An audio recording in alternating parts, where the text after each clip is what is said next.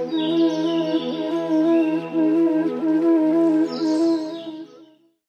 name is Ayush Deb. I read in class 4, section A, roll number 28. Environment is most important for all of us. Without it, we cannot survive